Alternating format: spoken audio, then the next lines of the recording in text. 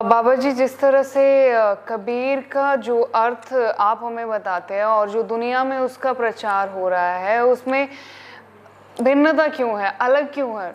Different क्यों है वो? देखो कबीर जो है ना पहले वो कबीर स्वामी रामानंद का चेला है। जी। और वो माड़ा फेरता है। वो सनातन धर्म जो है वो है उसका धारणी है। सनातन धर्म में जो कुछ उसे बताया गया था प्राप्ति जो उसे बताई गई थी वो प्राप्ति उसे हुई नहीं। जी। अब वो कहने लगा भाई ये जो मेरा मन है आप बता रहे थे कि ये मन तुम जीत लोगे मन तुम्हारा मर जाएगा मन शांत हो जाएगा। मर जाएगा मतलब शांत हो जाएगा। जी। तुम्हारी जो दुनियावी इच्छाएँ हैं माया की इच्छाएँ हैं वो ख़त्म हो जाएँगी तुम्हें मुक्ति प्राप्त हो जाएगी। तो ये क्यों नहीं हो रहा मेरा मन शांत? जी। मेरे अंदर इच्छाएँ माया की क्यों वैसी की वैसी हैं? तो वो बहुत देर उसे लटकाते रहे। आखिर कबीर बुढ़ापे में चला गया। ये सब कुछ उसने अपनी वाणी में लिखा है। हमारे गुरु ग्रंथ साहब में ये दर्ज है जो मैं कह रहा हूँ। जी जी। चार शब्द हैं मैंने अर्थाए हैं। और हिंदी में मैं अर्थाऊँगा। वो आत्म कथा है उसने आप लिखी उस समय से मैं बोल रहा हूँ। जी। फिर उसे कहा गया कि नहीं नहीं इसमें ये जो है रिद्धि सिद्धि प्राप्त होती है। जो आप चाहोगे संसारी इच्छाएँ सब पूरी हो जाएँगी आपको जो मांगोगे। वो बोला मेरी डिमांड माया मांगने की नहीं है। एक तरफ़ तो आप कहते थे तुम्हारी माया की इच्छा खत्म हो जाएगी। अब तुम कह रहे हो माया की इच्छा तुम्हारी पूर्ण होगी। इसका मतलब है तुम उससे ठगी कर रहे हो। बिल्कुल। जो तुमने मुझे बताया था माड़ा से प्राप्ति होगी वो हो नहीं रही। और एक भी आज तक जहाँ ऐसा आदमी माड़ा वालों का नहीं पैदा हुआ जिसे ब्रह्म ज्ञान हुआ हो जिसका भक्तों में ज़िक्र हो जिसने ब्रह्म वाणी को रची हो ऐसा तो है ही नहीं। जिसने राम कथा उच्चारण की हो ऐसा कोई रिकॉर्ड नहीं। बाड़ा फेरने वाला आज तक कोई भक्त रिकॉर्ड में है ही नहीं। नहीं। तो मैं कैसे हो जाऊँगा? मुझे अब समझ आई है कि तुमने उससे ठगी की। जब फिर वो कहता है जो वाणी में दर्ज है कि माया की भूख जिसके मन में है वो भक्ति कर ही नहीं सकता। माया की तो इच्छा है उसके अंदर। अभी तो माया की इच्छा है उसकी। भक्ति कैसे कर लेगा? जी जी। माया की इच्छा त्याग के ही तो भक्ति शुरू होगी। बिल्कुल। अब जो भूखा है जिसके मन के अंदर माया की भूख है तो भक्ति कैसे कर लेगा? भूख के भक्ति न की जाए तुम तो मेरी भूख को जगा रहे हो कि माया की तुम्हारी रिद्धि सिद्धि मिलेगी तुम्हें। यदि चाहोगे तुम्हें माया मिल जाएगी। मुझे तो चाहिए नहीं। जो मुझे चाहिए उसकी तुम बात नहीं कर रहे। मुझे मुक्ति चाहिए वो मिलती नहीं। तो मैं ये कह रहा हूँ कि भूखे भक्तन की तुम भूखे हो तुम भक्ति कर ही नहीं सकते ये भक्ति है ही नहीं। ये माड़ा अपनी लीजिए पकड़ो माड़ा अपनी मुझे ये माड़ा नहीं चाहिए तुम्हारी। लेकिन इसके अर्थ भी उन्होंने बदल दिए। जी। कि पेट का भूखा भक्ति नहीं कर सकता। पेट का तो भूखा होता ही नहीं। भूख मन में होती है। जी मन में होते हैं। पेट की भूख नहीं होती। पेट में लोड होते ज़रूरत होती है। हमारी हमारा तो आपका आपकी गाड़ी है। पेट्रोल की भूखी है ये। नहीं। लिमिटेड पेट्रोल पड़ना है उसमें। जी। सारा पेट्रोल पंप थोड़ी खाली कर दोगे तुम? नहीं कर पाएँगे। जो लिमिटेड है भूख जो होती है अनलिमिटेड चीज़ का नाम है। जी। जो मन में भूखा कभी पूरी होती ही नहीं। कभी इच्छा मन की पूरी होती नहीं। भूखा भक्ति कर ही नहीं सकता। इच्छा पूरी होगी नहीं भूख पूरी होगी नहीं। तो गुरु नानक ने सीखा है कि भूख्या भूख ना उतरे भूख भूख्या भूख ना उतरे। जो भूखा उसकी भूख तो खत्म हो ही नहीं सकती। चाहे बनना पुरियाँ पार सारी जितनी भी सृष्टि के पदार्थ है चाहे उसे सारे दे दो तब भी थोड़े भूख नहीं तो, तो मिल सकती। जी। तो भूख मिटनी नहीं भक्ति शुरू होनी नहीं। ये तो रास्ता ही गलत है। उसने माड़ा त्यागी है। ये माड़ा अपनी लीजा। हाँ मांगू संतन रहना हाँ मैं संतन से ज्ञान का जो है ना ज्ञान पदार्थ लूँगा ज्ञान लूँगा। जी। संतन रहना संतों की वाणी में जो ज्ञान होगा उसकी मुझे बौछार चाहिए। उससे मेरा मन में अंदर मेरे मन का जो भ्रम दूर हो। जैसे सूर्य हम पे एक किस्म की जो पदार्थ फेंकता है रहना उससे जो हमारा आकाश है, रोशन होता है। ऐसे ही संतों के वचनों से जो ज्ञान आता है, हमारे मन में पड़ता है, उससे रोशन हो जाता है मन। मन की जो भ्रम दूर हो जाता है, मन की काल उतर जाती है। इसीलिए वो कहता है, देखो भाई ज्ञान जब उसे उसने खुद बोला ज्ञान। फिर कहता है देखो भाई ज्ञान की आई आंधी। ज्ञान की आंधी क्या होती है? जो ज्ञान होता है उसके वचनों में बोल में आवाज़ में वो ही संतर लेना है।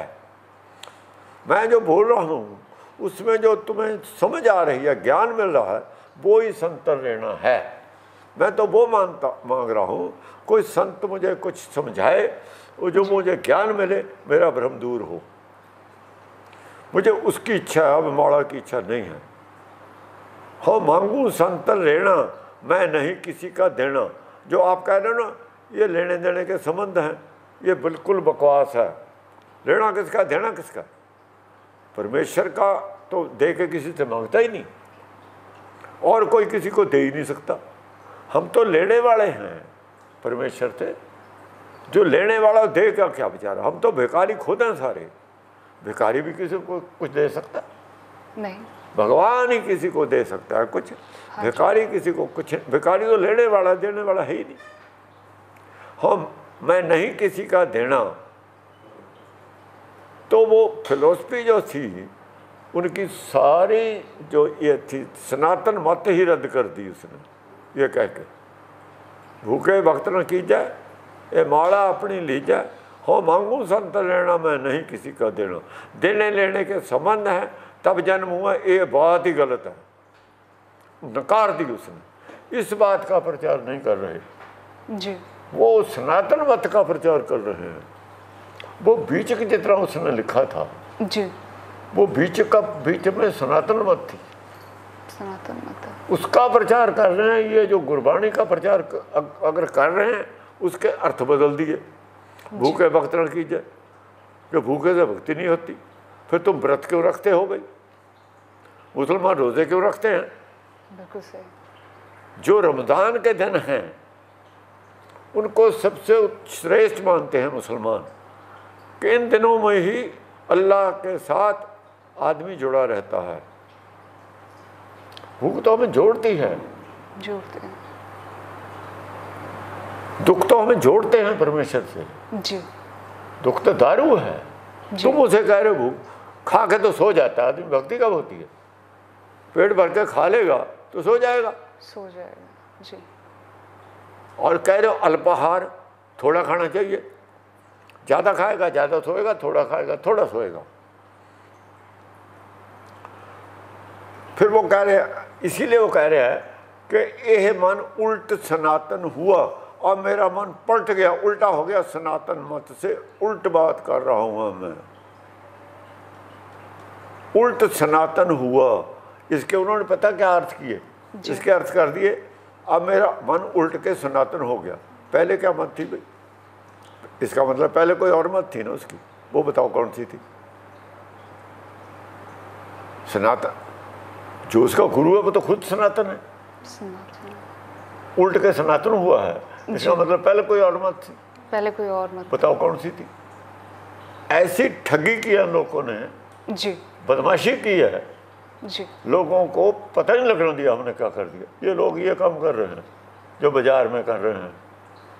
वो जो गुरबाणी में दर्ज है कबीर की बाणी उसके अर्थ बदल दिए दूसरी के अर्थ कर रहे हैं। जहाँ जहाँ वो बातें थी उसे इस तरीके से मतलब पब्लिक को पता ही कोई नहीं। पब्लिक कौन सी खोज करती है? पढ़ती। है वो मिले हुए हैं सारे। जी। वो सारे गैंग है उनका तो। ये चोर हरामखोरों का गैंग है। गैंग तो एक ही बात कहता है। जो मेरे वर्ग जैसा पैदा हो जाता है उस गैंग का नहीं होता वो भंडा फोड़ देता। है मैंने भंडा फोड़ दिया। इसीलिए कहते था ब्राह्मण कि किसी को पढ़ने मत दो नहीं तो हमारा भंडा फूट जाएगा। बिल्कुल सही। अब पढ़ लेंगे भंडा फूट गया। जी। भंडा फूटने लगा अब दुनिया पढ़ लेगी दूसरी। ब्राह्मण का कब्जा पढ़ाई पे नहीं रहा। नहीं रहा। जब तक उसका कब्जा था पढ़ाई लिखाई पे जब तक इसका भंडा नहीं फूटा। अब दूसरे पढ़ लेंगे। ये तो भला हो मुसलमानों का यहाँ राज हो गया। भला हो अंग्रेज़ों का जिन्हें हमें पढ़ा दिया ये हमें पढ़ने देते। नहीं पढ़ने देते। ये तो जो दूसरे हम जैसे थे अगर पढ़ते पढ़ाई तो उन्होंने करने नहीं दी। कि हमारा भंडा फोड़ देंगे। अगर किसी ने सुन भी लिया उसके शीशा डाल दो कान में कान हमेशा के लिए बंद कर दो। ये कर्म तो ये करते रहे हैं। जी। आज ये लोग फिर वो हिंदुत्व बोल लेना चाहते हैं भला उन्हें भूजे कोई अकल के दुश्मनों से। ये अकल के दुश्मन है सारे। अकल चाहिए दुनिया में रोशनी के लिए हम अंदर रोशनी के लिए ज्ञान चाहिए अकल चाहिए ये अकल के दुश्मन हैं। कि अकल की रोशनी होने नहीं देनी ये तो अकल का दुश्मन है बिल्कुल सही ये अकल का दुश्मन है कि हमारे लोग अगर अकल वाले हो गए तो हमारा जो हम धोखा दे रहे हैं धोखा चलेगा नहीं तो धोखेबाज आदमी है चोर की चोरी कब चलेगी जो रोशनी हो जाए चोर चाहता है अंधेरा रहे अंधेरा रहे अंधेरे में चोरी होती है जी रोशनी में चोरी कैसे करेगा नहीं कर पाएगा जी ठीक है जी तो ज्ञान की रोशनी जो चोर नहीं वो रोशनी करेगा।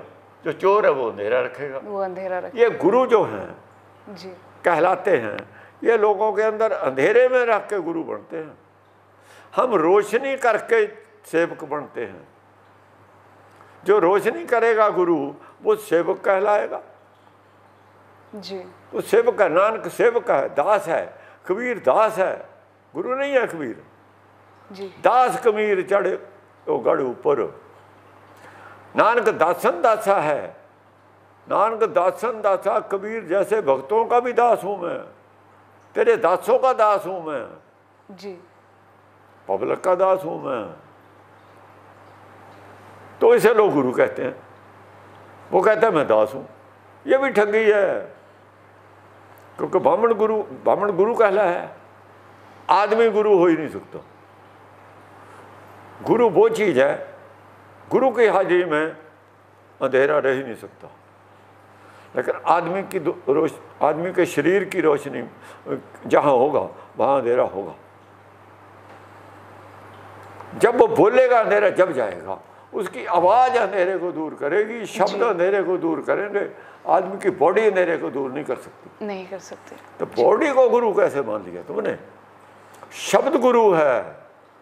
उसकी आवाज़ में शक्ति है अंधेरा दूर करने की भ्रम दूर करने की।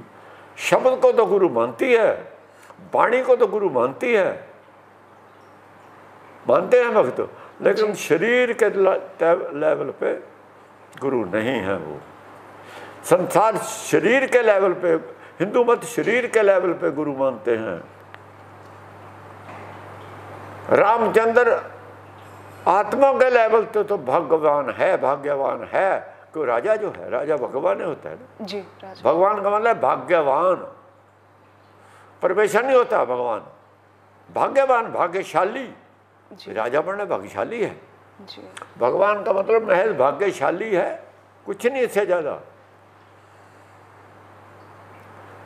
वहाँ लिखा है कि उस तथा निंदा चाहे से जो ऊपर उठ गया सो मूर्त भगवान। कोई भी हो भगवान की मूर्त है। भाग्यवान है। उसने अपना जो काम करने आया था वो पूरा कर लिया। पूरा कर लिया। जो हम कहते हैं कि भाई ये बच्चा है ये फ़र्स्ट डिवीज़न में पास हो गया भाग्यवान है। जी।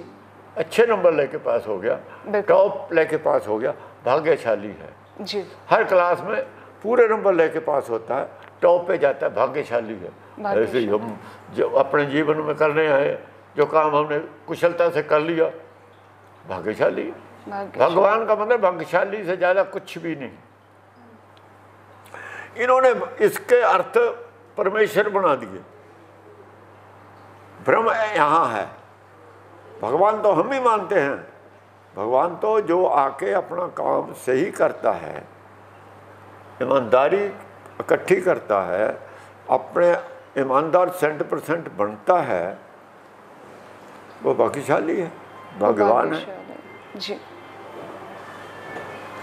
तो ये लोगों ने इन लोगों ने जो इनका प्रचार था मूर्ति जो आदमी शरीर के तल पे अपने आप को गुरु कहाएगा वो ही तो मूर्ति पूजा करवाएगा।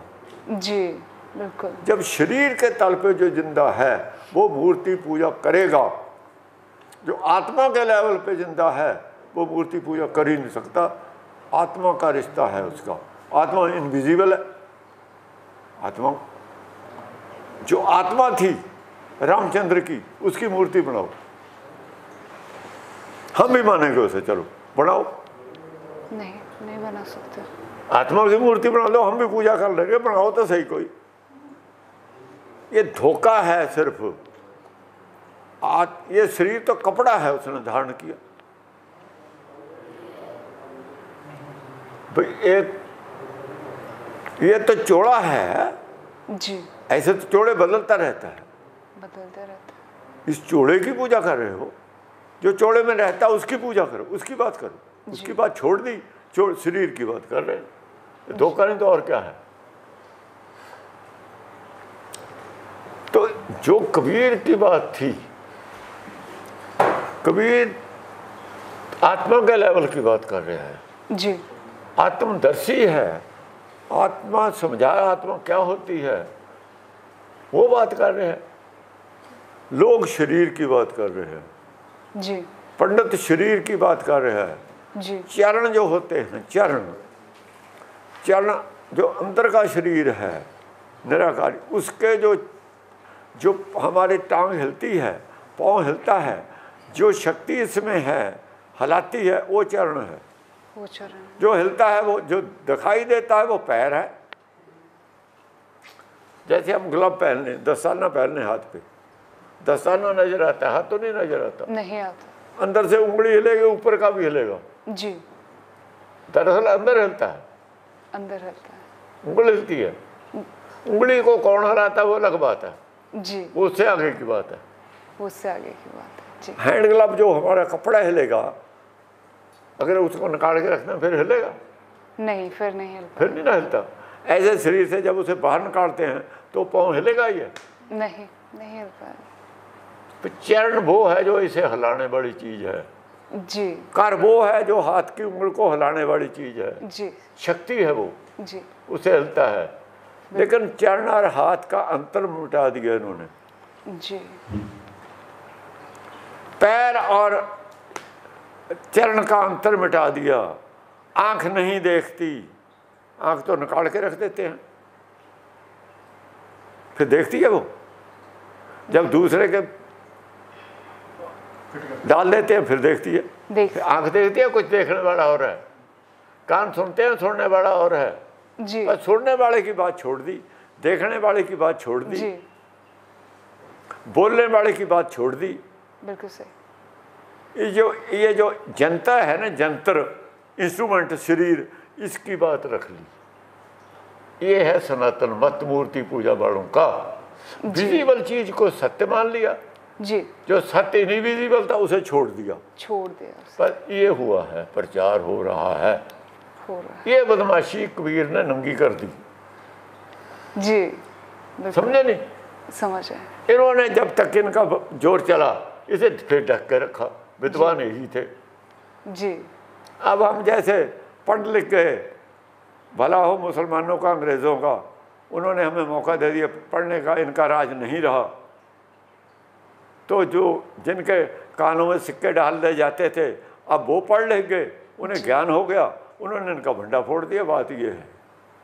बिल्कुल सही। दिक्कत ही यह है गुरुओं ने भंडा फोटा उनके साथ क्या हुआ? क्या हुआ? इन्होंने क्या किया मिलके? बंद बंद काटे गर्म तवियों पे उन्हें बैठाया गया सरकार से मिलके। जी। कट्टर मुसलमान और कट्टर हिंदू दोनों ने मिलके क्या नहीं किया भक्तों से? क्यों किया गया? आज ये सवाल खड़ा है। जी। आज भी इनके बस में हो। तो मुझे इतना इतना करके काट दें ये जी लेकिन जी। आज सरकारें हमारे साथ हैं। आज दुनिया का माहौल बदला हुआ है। आज वर्ल्ड हमारे साथ है। इनका बस नहीं चलता। जागरूकता है, पढ़ लिख गए लोग। ज्ञान बहुत ज़्यादा है। इनका झूठ अब फेल होता जाता है। लेकिन फिर भी ख्वाब देख रहे हैं हिंदुत्व के। इसका मतलब इनकी बुद्धि इतनी मलिन है। ऐसा लगता है जैसे अपनी मौत को जगा रहे हों। अपनी मौत को जगा रहे हैं ये।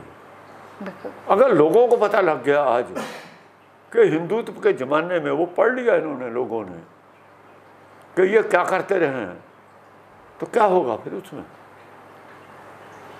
जितने लोगों को इन्होंने नीच हरिजन बना के रखा जो उनसे व्यवहार किया अगर वो पढ़ लिया लोगों ने तो क्या होगा? इन्हें पता नहीं कि क्या होगा फिर। जी। कितनी खतरनाक खेल खेल रहे हैं इन्हें मालूम ही नहीं। ये तो इन्हें भूल जाना चाहिए था। इसकी बात खुद ही करनी चाहिए था कि इसकी बात ना करो। वो तो बुरे आदमी थे। बहुत बुरा ये तो खुद कहते। मैं जर्मन में गया। जर्मन में जर्मनी के लोग इतनी निंदा कर रहे हैं हिटलर की हद से ज़्यादा कि बुरा आदमी था। हम नहीं निंदा करते जो अपने बुरे आदमी हैं। हम उनकी निंदा करके राज़ी नहीं। इसका मतलब हम बुद्धिहीन है। यही कारण है हम गुलाम होते रहे हैं। जी। बुद्धवान आदमी अपना फ्यूचर जानता है कि मुझे किस रास्ते चलना है। जी। दुनिया एक धर्म बढ़ने को वेद को मानने को मान चुकी है सारे धर्म। और ये हिंदुत्व भी बात कर रहे हैं। सारी दुनिया एक तरफ़ है ये एक तरफ़ है। जी। इन्हें इतना नहीं पता कितना खतरनाक खेल है ये जैसे तुम खेलने जा रहे हो। कौन समझाए इन्हें? हमारे देश के लिए सबके लिए खतरा है ये। जो बाहर हिंदू हैं उनके लिए बहुत बड़ा खतरा है ये। इन्हें पता ही नहीं कि हम क्या कर रहे हैं। जैसे हमारे आतवादी थे मुट्ठी भर सिखों में। उन्हें पता नहीं था कि सिखों का क्या होगा। अब सामने हो गया अब सिखों को अकल आई है कि हमने जो मूक चुप उन्हें समर्थन दिया है उसकी वजह से हमारा ये हाल हुआ है। हमारी इज़्ज़त की रत्ती भर नहीं रही हमने चुप समर्थन दिया है। हमने आवाज़ नहीं उठाई उनके खिलाफ ये गलत हो रहा है। तो उसका खमियाजा आज भुगत रहे हैं सिख। ऐसे ये भुगतेंगे। बहुत खतरनाक खेल है। कौन समझाए? इतने मंदिर हैं बन गए। ये मंदिर एक और बन गए इससे क्या होगा? इसमें एक झगड़ा पैदा होगा। जी झगड़ा शिव भक्तों में और विष्णु भक्तों में। जी बिल्कुल। रामचंद्र के साथ ना तो गंगा जुड़ी हुई है ना जमुना जुड़ी हुई है। जी। गंगा जमुना के बगैर हिंदुस्तान में है ही और क्या? कुछ भी नहीं। तो राम के साथ तो दोनों का संबंध कोई नहीं। ना गंगा का ना जमुना का। वो तो सरजू नदी है उसकी तो। उसके किनारे पे है। सरजू को कोई वजूद नहीं कहीं। कोई विचारधारा ही नहीं। सरजू तो हमेशा सूखी रहती है और ख़त्म हो जाती है। सरजू नदी वो ही है सिमृत शास्त्र की जो विचारधारा वो सरजू नदी है। कृष्ण की गीता जो है, वो गंगा में जा मिलती है, वेद में जा मिलती है, ज्ञान की गंगा में जा मिलती है। ज्ञान की गंगा समुद्र में जाती है। यहाँ तो उसका नक्शा बनाया ना। कम से कम समुद्र से पानी जो आया है, हम जो समुद्र से बिछड़ के आए थे, आकाश से गर्भ में आए, समुद्र में ही जा मिले वो पानी, जहाँ से आया है। जह में से उपजी जह से उपजी तह मिली। आकाश से गंगा होके आई थी बादल के रास्ते। ज़मीन से होके वहीं चली गई। वही चले जी। इसलिए उसे गंगा कहा है। वो पानी जहाँ से आया वहीं पहुँच गया। जहाँ से हम आए हैं बिछड़ के वहीं पहुँच जाएँ वो विचार तारा गंगा विचार तारा है गुरमत विचार तारा ही गंगा है। ज्ञान की गंगा है लेकिन ये पानी की गंगा पानी की गंगा तो प्रमाण है। यहाँ और क्या देते प्रमाण? वो तो प्रमाण के तौर पे नक्शा दिखाया है। हमें समझाने के लिए। देखो भाई, वो समुद्र से ऐसे पानी आया, ऐसे चला गया। हमारी उल्टी गंगा ऐसे आती है, ऐसे जाती है। आती है नीचे से। हम नीचे से आए हैं, नीचे जूनियों से, नरक से आए हैं ऊपर को। वो ऊपर से नीचे को आती है पानी की गंगा। हम नीचे, बुद्धि नीचे से ऊपर को जाती है और ऊपर जाके फट जाती है सर्वव्यापी हो जाती है। जी।